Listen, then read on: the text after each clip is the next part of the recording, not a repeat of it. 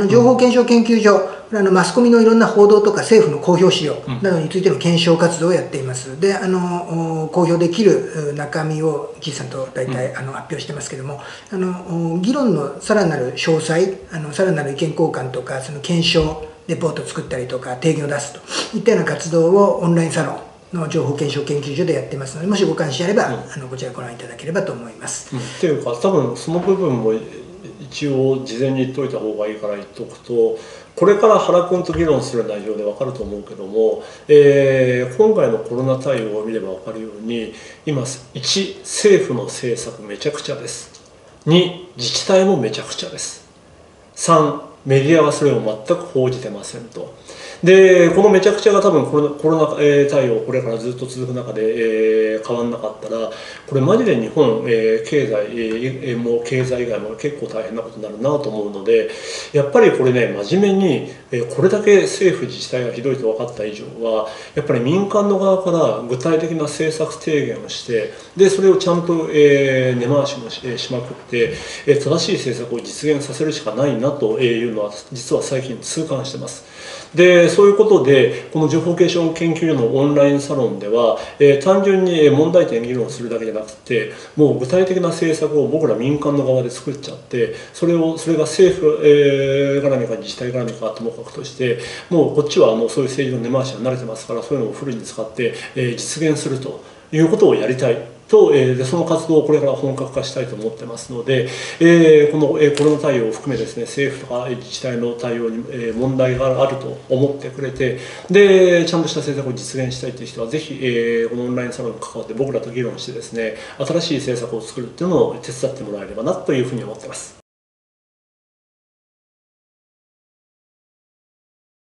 はい、えっ、ー、と、情報検証研究所です。えっと、今日は11月の4日に収録をしています。はい。よろしくお願いします。はい。えっ、ー、と、で、えー、この前の週末に、衆議院選挙終わったわけですが、うん、まあこれ結果、一応これ数字もあのどこにでも出てる数字ですけども、はい、自民党公示前270から261。うん、これもう直前までね、なんかもうあの、過半数ギリギリじゃないの？とかって言われていたのが261です。だよね。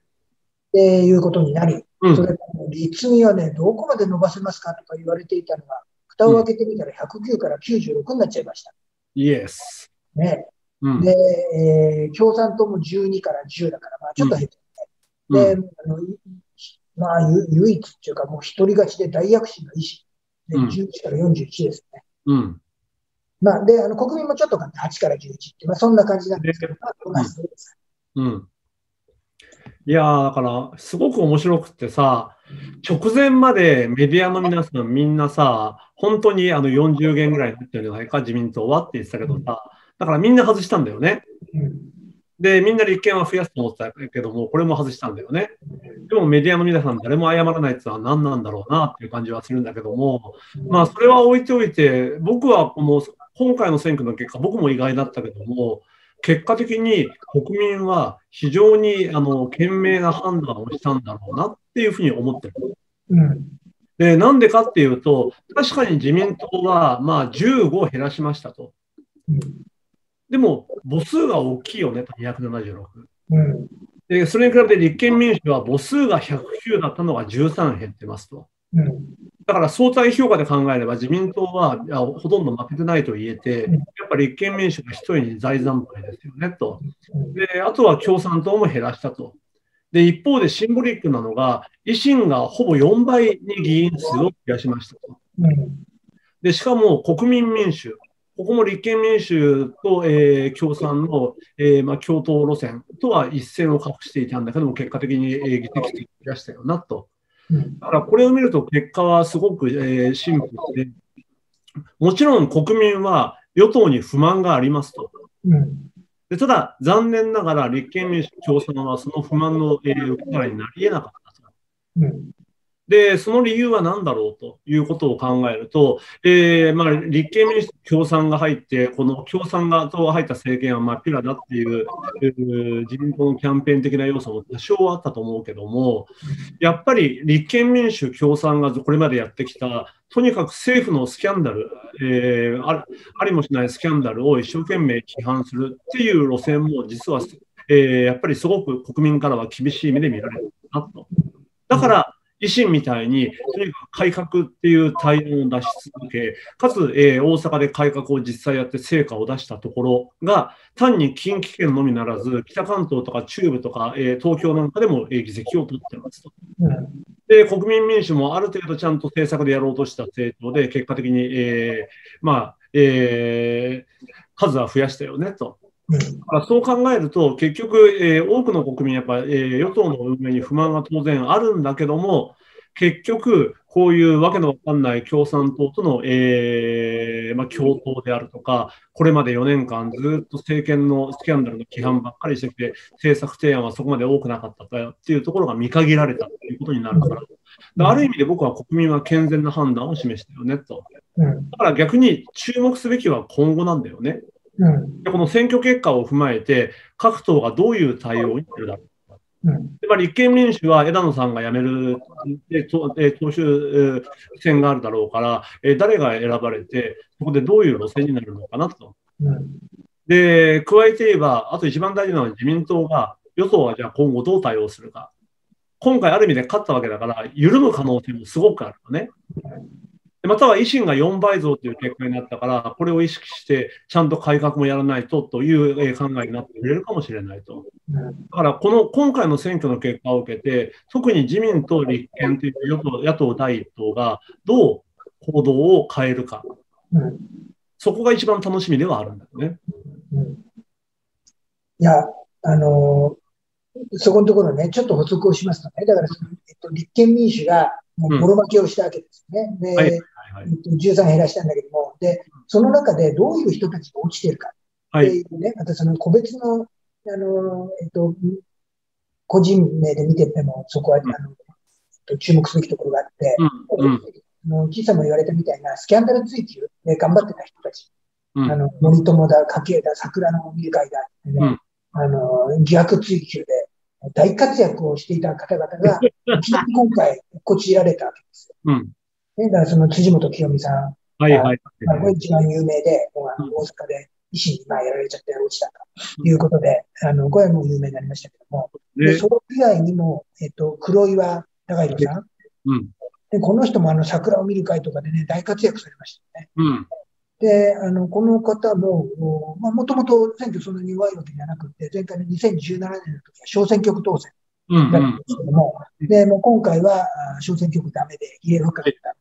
もうあの、議席を失っちゃいました。まあ、辻元さんも議席を失ったんですけども、黒岩さんも止まったということでした。うん、それから、あと、えっ、ー、と、今井正人さんとね、川内博さんとか、これ、この方々も、まあ、なんかあの、森掛桜でね、大活躍をし、あの、ついでに言えば、あの、私の時の、あの、えっと、あの国家戦略特関係。はいはいはい、はい。もうなんか、私も変な疑惑追及を、事実無根の疑惑追及を、予算委員会やら内閣委員会やらでたびたび受けたんですけども、うん、その時にも出てこられた方々。うん。あの、野党合同ヒアリングの主力メンバーですよね。そうだね。で、あの、まあ、それこそもうこの方々だから、あのテレビニュースなんかでもよく報じられて、知名度は高まってたと思うんですけども、うん、で、えっ、と、今井さんは前回比例復活だったんですけども、まあ相当票を減らしちゃって、うん、今回復活できませんでしたということですね。うん、あの、減らしたというのは、あの、今度、共産党の候補が出なかったんで、それを合わせると相当減ってるわけですね。そうだよな。それから川内さんは前回小選挙区当選だったんですけども、今回も比例復活がなし。うん。ということになっちゃいましたと。それと、あと、ついでに、あの、もうお一人、その篠原隆さんって、私が今、そのをやってる、あの、議員の方、うん、あの、えっ、ー、と、いや、それこそ、その、私に対する、事実無根のね、誹謗中傷をやられて、で、えっ、ー、と、あの、訴訟で私は一審分かって今まだ、えっと、控訴されて二審を係争中なんですけども、ね、あの大変選挙の強い人で、うん、えっと、2009年以来、もう4回連続で小選挙区当選だったんですよ。うんうんうん、で、えー、なんだけども、まあ、今回は小選挙区負けちゃって。うん。10年以上ぶりぐらいに小選挙区負けて、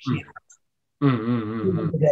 まあね、あの、スキャンダル追及型の方がだいぶ苦戦されたな。そうだよね。でもあの一方で、あの、えっ、と、あの、あなんだろう、予算委員会のね、あのテレビ中継入りの、ものすごい花形の舞台とかでも、スキャンダル追及をやらない野党議員の方々っていらっしゃったわけですよね。はいはいはいはい。まあ、代表格がその前原誠司さんとか岡田和樹さんとか、うん。玉木雄一郎さんなんかもその、あの一人で。あのもうなんかね、もうみんなで桜を見る会だとかね、あの、今度はかけらとかですね、ずっとやってた中で、うんそれとは一線を画して、ずっともう対象交渉の政策論争を国会質疑になると必ずやるという人たちだったんですけど、まあこの人たち盤石ですよ。まあね。うん。まあで、もちろん、その、何政策論争をやったから票を取れたっていうわけではなくって、まあもともと選挙強いから、その政策論争で、うん。スキャンダル追及なんかやらずに政策論争をやってたっていう面はあったわけですが、まあ、ただ、少なくとも言えることが、あの、選挙に弱い人たちが、とか、まあ、ちょっと微妙だなっていう人たちが、うん選挙目的、その知名度を高める目的で、えースキャンダル追及をやっても、これは効果がないと。うんいうことが明らかになっちゃったんですね。ね。テレビとかで取り上げられて、その知名度は高まったかもしれないけども、それで、えっと、いや、あの国会議員はよく頑張ってるなと、有権者に思ってもらえるかと思ったら、実はそうではなくって、何やってんのと。うんなんかもう決めてもないその追及は延々とやってて何やってんのみたいに思われちゃったんじゃないのかというのが、うんまあ今回明らかになったこと。うんで、なので、さっきそのキーさんも言われたように、有権者はバカじゃなかったと。そその一部の政治家の人たちや、あるいはその一部のマスコミの人たち、そのスキャンダルものばっかり取り上げていたようなマスコミの人たちが思うほど、えー国民はバカではなくって、ちゃんと見てましたよっていうのが明らかになったのかなっていうのが、まあ、この結果です。う。そう。だから、まさにこのスキャンダル追及で名前を売った人が結構落ちて、うんそうじゃない真面目な野党の先生方は通ってるっていうのは、これ、どう評価するか結構面白くて、じゃあ、じゃあなんでこういう現象が起きるんだろうねって考えると、えー要はスキャンダル追及だけしたから、えー落ちたのか、またはスキャンダル追及でテレビに映るとさ、なんかそれで知名度が広がった感じがするから、それで安心しちゃって地元での、えー本来議員としてやるべきことを活動をしっかりややれてなかったのかもしれないじゃん。うんで、政策論争をしっかりやってる国会議員の皆さんって、政策論争の延長で、当然地元の問題にもいろいろ取り組んでいたはずだから、だから強いのが続いたとも解釈できるし、うんもしかしたらこのスキャンダル追及でテレビに映るっていうのはさ、すごい立ちの悪い麻薬だったかもしれないんだよね、いずれにしても。うん。だからそれにはまっちゃって、それだけで、えー知名度が上がれば OK っていう勘違いを起こしたのかもしれないし、だから今回、スキャンダル追及型議員がなんで、えーほぼ、えーみんな打ち死にしたかっていうのは、実はしっかりこれ分析しておいたら面白いと思うんだよね、うん。個人的には。えただ少なくとも結果としてこういう現象が起きたっていうのはいいことで、ーうんでただ問題は俺個人的にかえって逆の心配してるのが、うん。立憲民主党新体制になった場合に、うん。今回のこの結果を受けて、ちょっと極端に逆売れしちゃったら、それも良くないなと思ってるんです。うんつまり、スキャンダル追及したらみんな落ちるようになって、うん。じゃあ、スキャンダル追及より政策論争だっていうふうになっちゃうと、うんそればっかりになっちゃうと、今度はそれはそれでさ、えー国会の質疑も一般の人から見たらつまんなくなっちゃうから、うん。なかなか、えー移り、えーうん。で、それってやっぱり強い野党が必要な観点から言えば、野党の国民の露出が減るっていうのは僕良くないと思ってるんだよね。だから自分がすごいテレビから出てる経験から言うと、やっぱこういう時、こういうのってさ、コーナン織り交ぜないとダメなんですよ。うん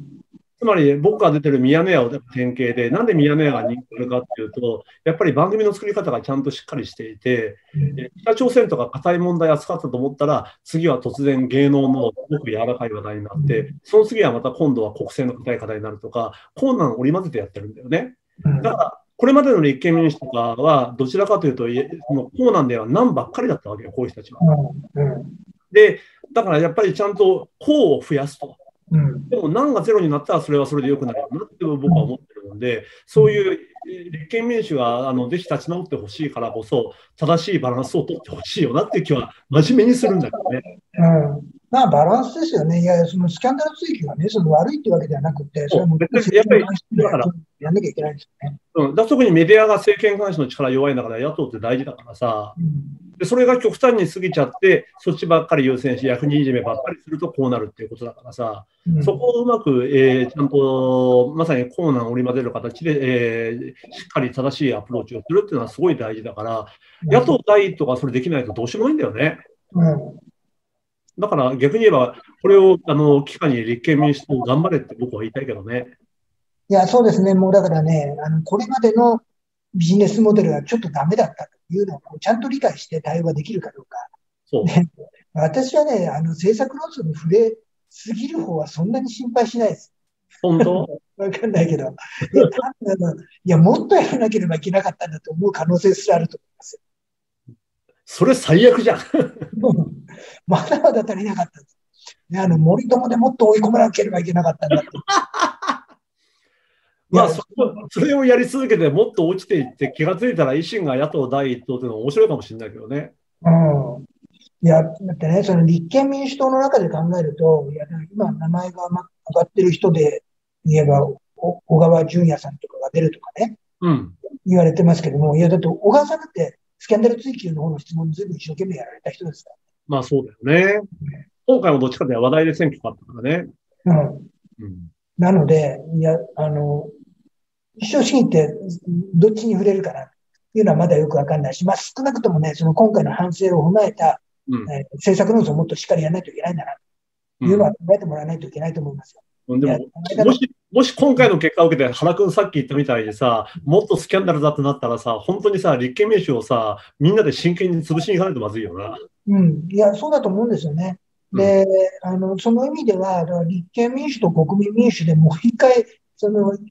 ななんだろう、一緒になるってそう簡単じゃないのかもしれないけども、うんうん、あの人たちどうすんのというのをもう一回考え直さないと。そう思うね。なんかもう立憲の中だけで代表もう一回選び直しますとかって言ってもな、なんかあんまり展望がない気がします。うん、玉木さんが全部やった方がいいのかな。うん、いや、玉木さんが全体やってくれればいいんだけど。うん、っていうか、そうしないと、もう要は簡単で、やっぱ野党が強くないと与党は緩むのよ。うん、特に今の岸田政権、俺、これから緩む可能性、すごい高いと思ってるからさ。うん、だから、その中で野党がしっかりしてもらうと、本当ね、えー、岸田政権の政策って俺、辛いと思うよ。一応、選挙では成長と分配って一生懸命言ってたけどさ、うん、多分無理やで。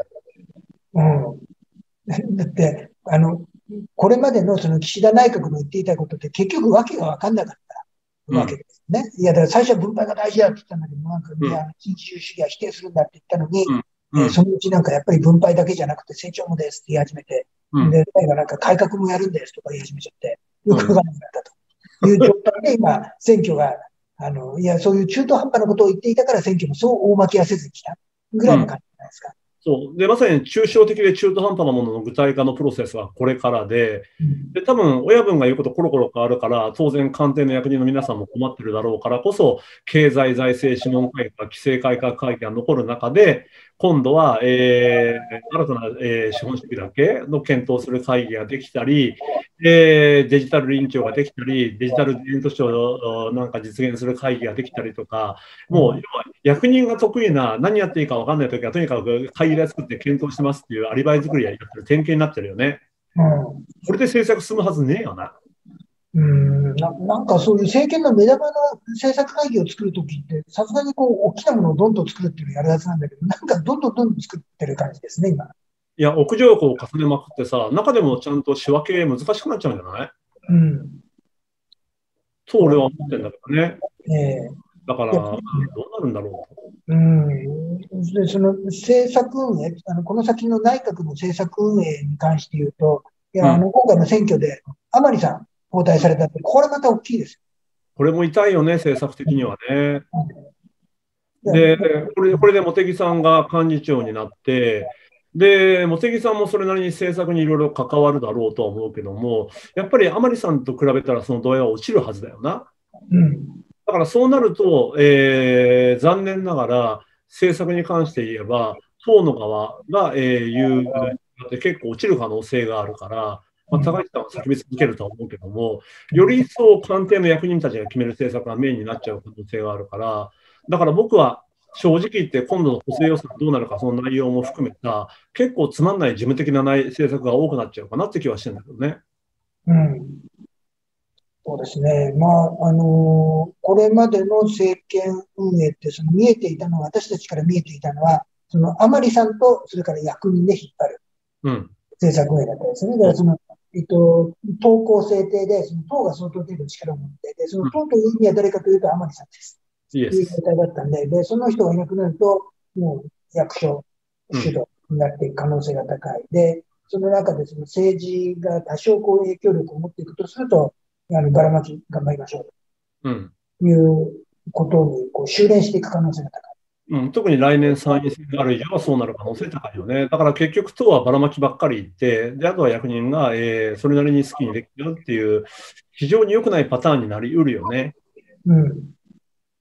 まあ、それで役所がちゃんと、あの、占めるところは占めるので、いや、うんあの財政規律はしっかりやりましょうって増税はするんじゃないですか。うん、それも当然来ておかしくないよな。うん。でこれも分配という名目が使えるからね。うん。そうなんですよね。だからこれ、あの、自民党がもうちょっと負けてると、その増税とかなかなかもうやってる場合じゃないや。ということになるかなと思ってたんですけど、これぐらいだとやれちゃうでしそう、やれちゃうんだよなうん。で、やれちゃうし、残念ながら、今回、分配っていう増税をなん肯定するマジックワードができてるからさ、ょ。うん。これ結構怖いんだよ。うん。だからどうなるかなって感じだよね。うん。ちょっと本当、今後の先行き、自民党勝っちゃっただけに心配だわ、俺は。そうですね。まあ、だなんかあの、えっと、昭和の70年代ぐらいまでの、まあ、あの、えーいいろんなところをばらまいて、うんあ歳入が入ってくるから大丈夫だみたいな、なんかその時代にこう戻ろうとする一役が働きそうな感じがしますね。うん、そう思うね。だからちょっと本当要注意、要注意。だから辛いだろうな、正直言って補正予算の内容も。うん。あとは来年の政策考え、来年の、えー来年度予算を考えてもしんどいだろうし、政策全体が、えーそんな進まないだろうな。何が進むと思う？政策は。当面。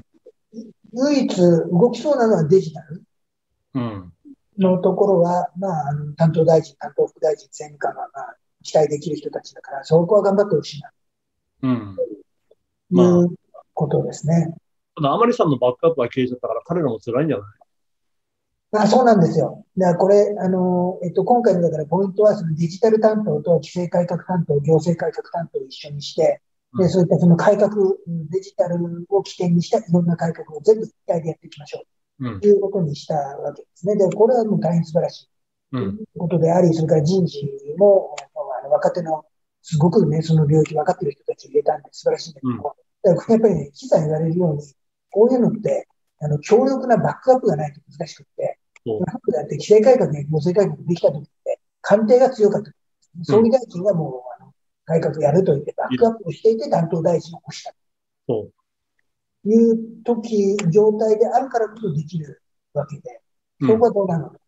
うん。そう、だからやっぱり頑張ってほしいんだけども、当然3回で若いとなると、なかなか、えー対役人でも大変で、やっぱり党のバックアップって絶対必要なんだけども、そのバックアップを一番できる人だった甘利さんがいなくなったのはすごい痛いと思うんだよね。うん。だからそういう中で彼らがどれだけ力を発揮してもらえるか、それを官邸がちゃんとバックアップするかどうか。うん。これ官邸はどこそこまでしっかりバックアップしない気もするんだけどね。いや、だって官邸は、総理はあんまり改革やりたくないって本当に言ってた人ですからね。うん、そう、改革反対だからね。もうん。う、まあ、まあでも、あのー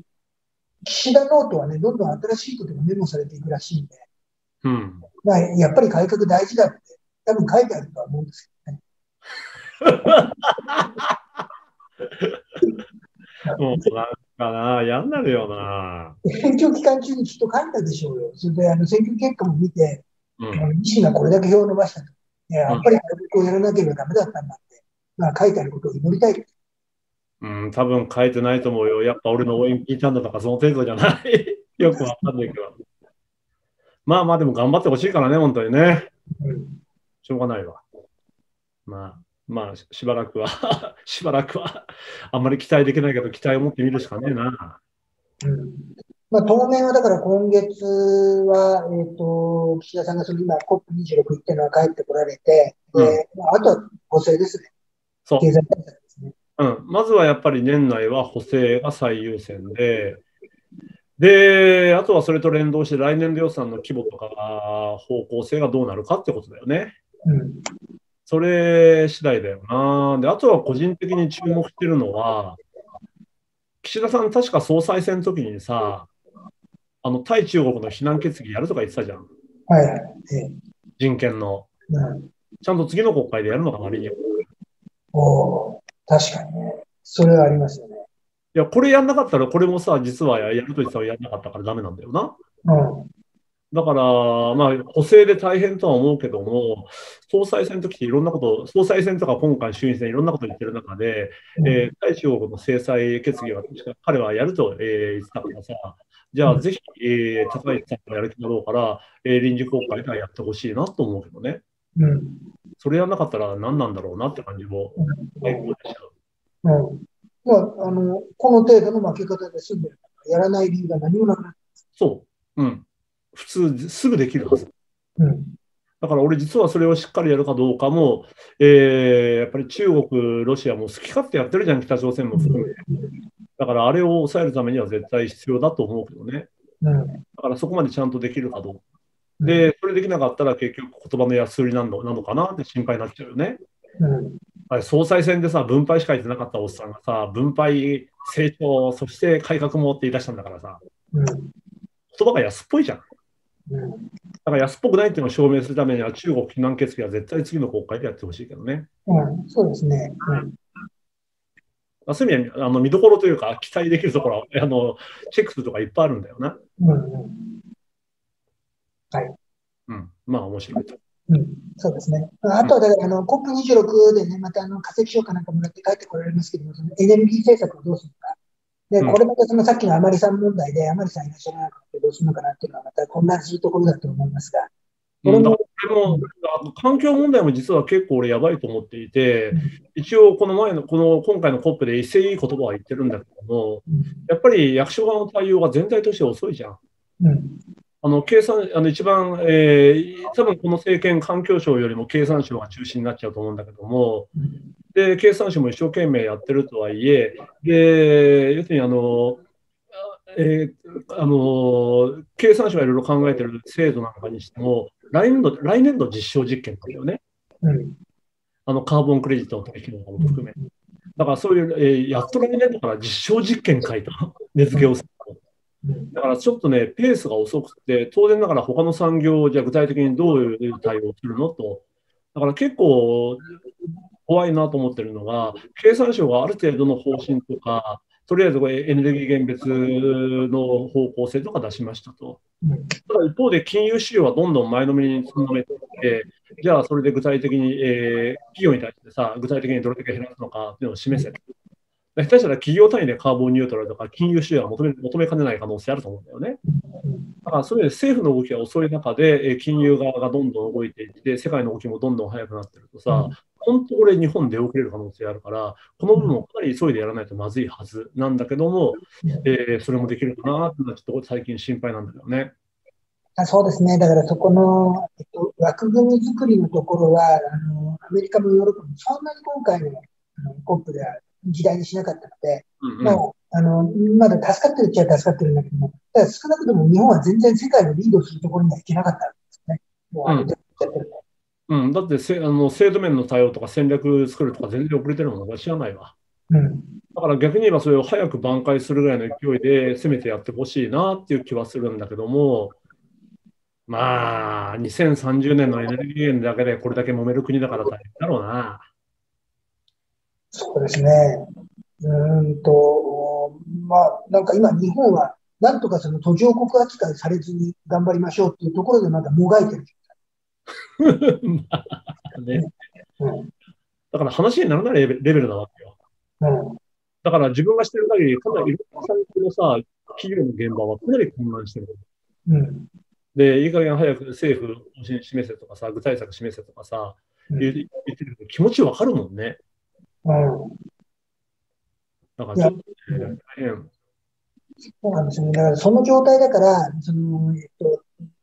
カーボンニュートラルやると、企業にとっては儲かんなくなっちゃうのどうするのみたいな話を未だにやってるわけですね。うん、そでう。世界の企業はもうそうではなくて、カーボンニュートラルっていう、あのた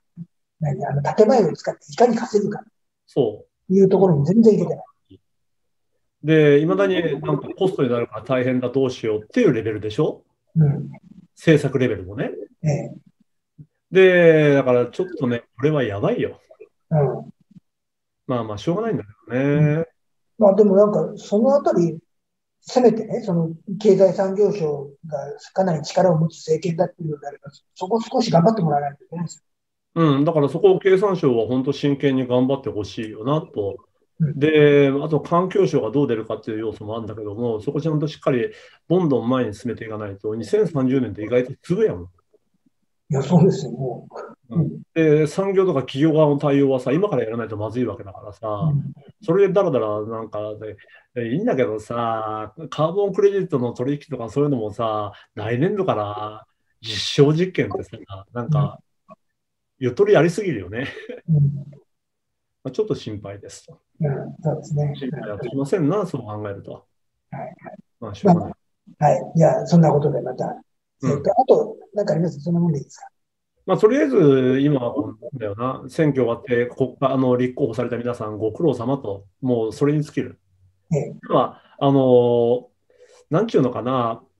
原君もだから応援とか言ったからわ言ったら分かると思うけどさ、一般の人がやあの思うようにさ、選挙大変じゃん。うん。で、だって、言い方だけど、大の大人がさ、自分の名前がデカデカと書かれたたすきをかかけてさ、自分の名前を1日何百あの300回、500回と連呼するっていうさ、恥じらいしてる人間なら絶対できない、えーえー恥ずかしいことを平気で、しかもずっと十何日もやってるわけだから、多分皆さんすごいお疲れのはずだから、まあ、まず、早く、あのーゆっくり、一回ゆっくりして、で、ちゃんと元気を取り戻して、早く臨時国会で頑張れよって言いたいけどね。まあそうですね。まあ、あの、国会議員の人たちはでも異常なエネルギー持ってる人たちだから大丈夫です。一晩ぐらいで。そう考えると変な人種だよな。まあ、しょうがない、しょうがない。うん。はい。じゃあまた頑張ってもらいましょう。はい、ありがとうございます。